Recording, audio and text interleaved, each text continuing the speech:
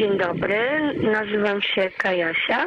Chciałam życzyć wszystkim bardzo, bardzo, bardzo serdecznie przepięknych świąt rodzinnych, spędzonych w miłości, spędzonych w towarzystwie jak najbardziej lubianym, potrzebnym, oczekiwanym, no i przy mojej piosence, którą bardzo, bardzo kocham. Pozdrawiam.